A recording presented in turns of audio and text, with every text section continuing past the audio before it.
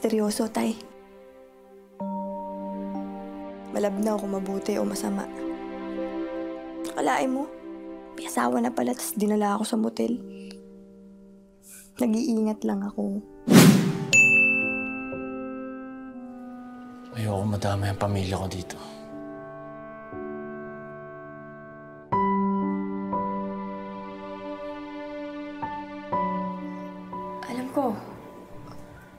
Kaya nga, di ba, sinabi ko sa'yo na hindi ko sasabihin sa kanila yung tungkol sa buhay mo pag wala ka dito.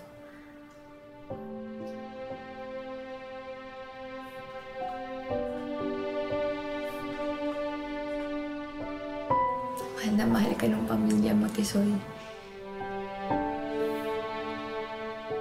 At ulitin ko, naiintindihan ko kung bakit kailangan mong itago sa kanila yung buhay mo bilang si Tisoy.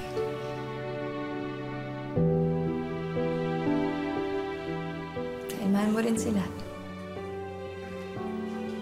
Ginawa mo nga lahat eh para mahanap mo si Lia. Kahit hindi mo naman talaga siya tunay na kapatid. At sinabi ng tatay ko sa akin na mabuti ka. Kaya pinaniniwalaan ko yun. Isang wrong move ko lang dyan kay Eros, malalagot yung tatay ko sa loob ng kulungan. Kaya kung ano man yung ganap mo bukas, kailangan nandun ako. Kung gusto ka niyang pasundan sa akin bukas, siya ang magsasabi sa'yo kung nasan ako. Sandali. Sumusunod pa ba sa'yo? Hindi, wala na. Na-report ko na sa polis.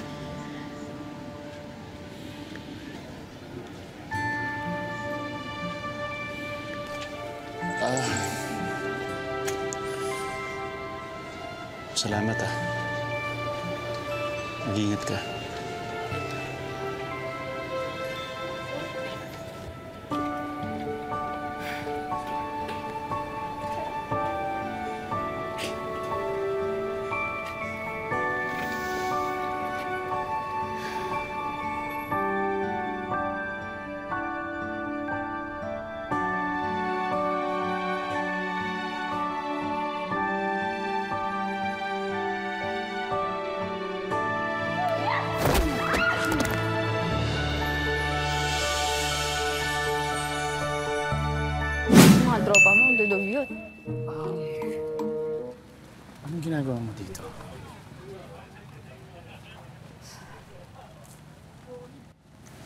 ka pinapunta ni Eros.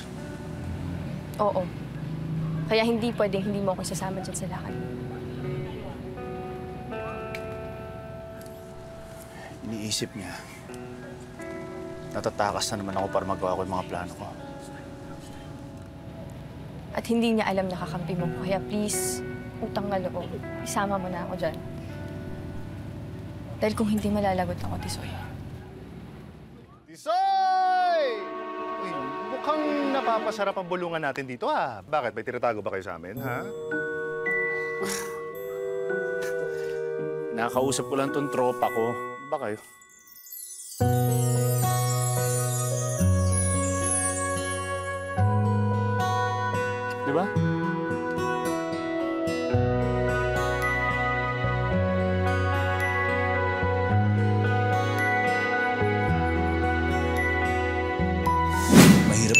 Sitwasyon ni Bungo. Walang kasiguruhan. Pero kahit pa paano, magkasama na kayong dalawa. Hindi mangyayari lahat ng yun kundi dahil sa'yo, Tisoy. Alam kong kulang ang salitang salamat para sa lahat ng ginawa mo para sa akin at sa tatay ko. Hindi lang naman ako yan.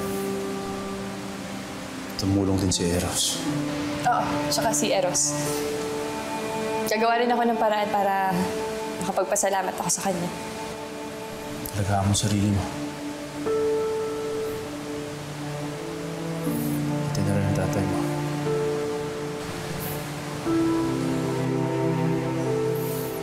Alis na ako.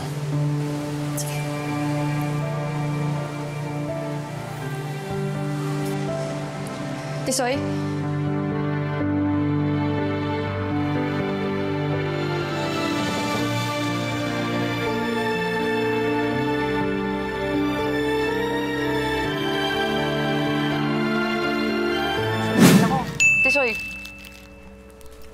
Kailangan sabihin sa akin yan. Anong bahala? Do-double check ko dun sa mga security kung talagang bad na si Troy dun. At kung hindi, at nakita ko siyang babalik-balik dun, makukurot ko talaga yung mapipitik ko tenga nun. Kurot at pitik lang talaga. Hoy, kung hindi mo natatanong, powerful kaya ang kurot at pitik ko. Hindi ko lang ginagamit sa lahat, dun lang sa mga deserve. Eh, isa pa. Siopaw. Huwag na. Sa'yo na yan. Pampalakas mo ng kurot at pitik kay Troy yan. Ah, parang ano yun. minamaliit mo yung kurot. Gusto mo, try ko tayo.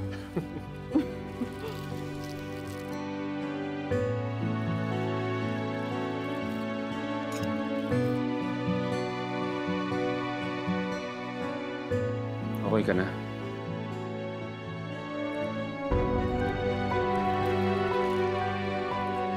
Kaya naman. Pero, tuloy lang pagbabantay ko din sa'yo.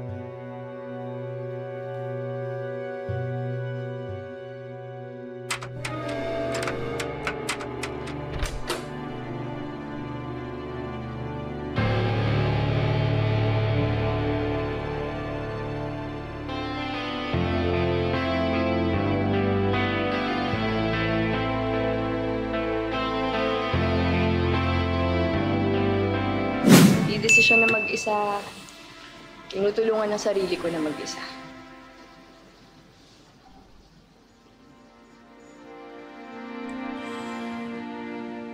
Itong ginagawa natin, Venus, napakadelikado nito. Hindi lang lakas ng pisikal ang kailangan dito, kundi lakas ng isip at kontrol din. Alam ko yun. Dahil lahat ng itinuro mo sa akin, hindi ko naman nakakalimutan eh. Hindi mo ako masisisi kung bakit ako ganito sa'yo. Hindi kita masisisi. At nagpapasalamat ako na ganyan ka sa akin.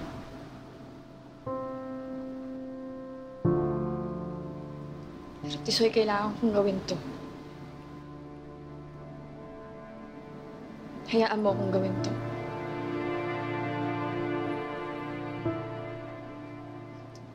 Huwag kang mag-alala. Pag di ko na talaga kaya, pangalan mo ang unang-unang isisigaw.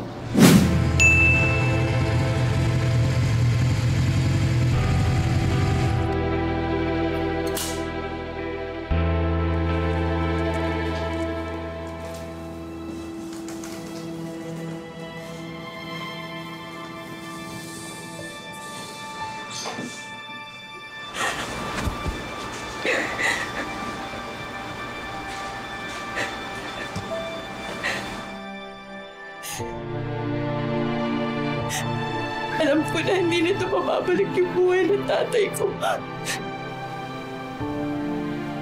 Pero parang binigyan niyo na rin ako ng hustisya sa pagkamatay ng hero na yun.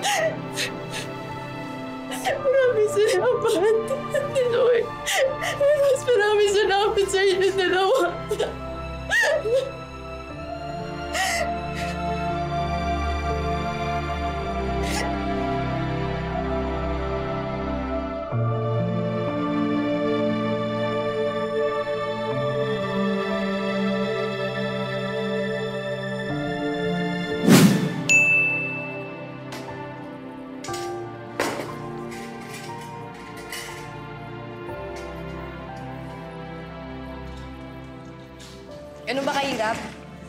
Yung ilang minuto lang para kumain?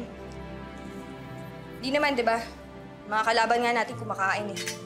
Dapat sana tayo din.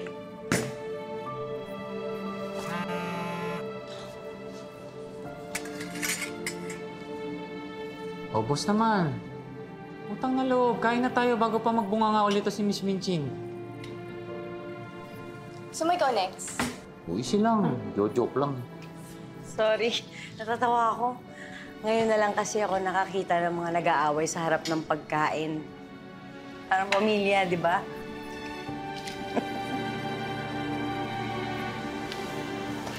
Kumain ka na rin.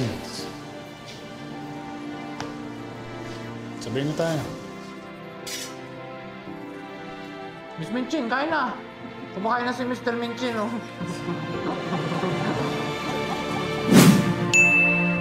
Nung namatay si Tats, yun yung pinakamasakit na nangyari sa akin.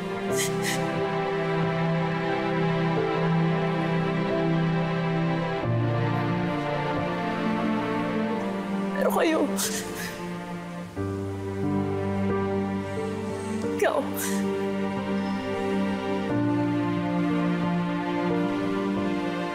Tapos hindi ko na alam kung ano pang gagawin ko pag pinangyari sa inyo. Venus. Nandito pa tayo, hindi ba?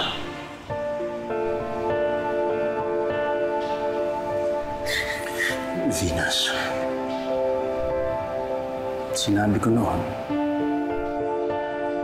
na walang mamamatay sa grupong ito. Habang nabubuhay ako, hindi ako papayag na mangyari yan. Hindi ko kayo pababayaan. Venus, hindi kita pababayaan. Sige na. Pahinga ka na.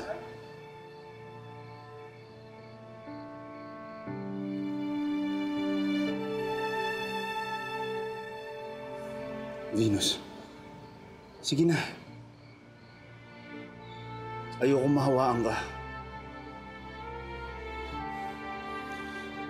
Sa ngayon, wala akong nararamdaman sakit. Pero kapag dumating yung araw na magkasakit ako, pati kamatay ko to, ayoko may ibang tao maapektuhan. Lalo ka na. Ikamatay mo? So, ano ka ba? Kung tanggap mo na yun, hindi ko yun tanggap. Dahil ayokong isipin na hindi na kita makikita at makakasama. Kasi ang daya. Lagi na lang nawawala yung mga taong mahal ko.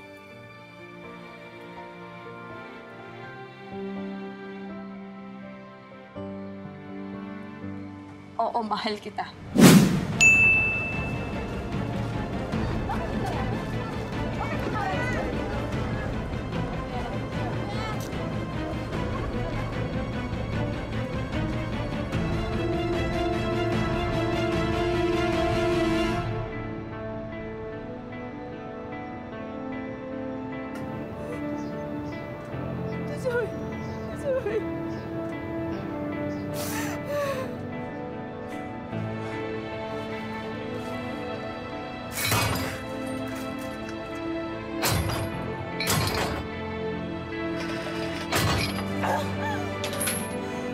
Venus.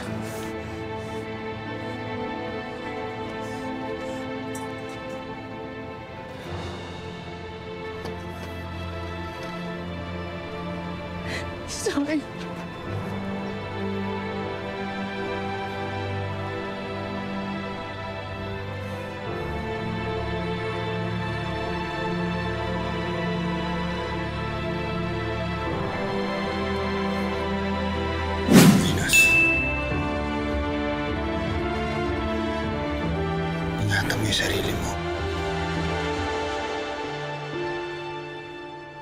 Mo sa akin yan.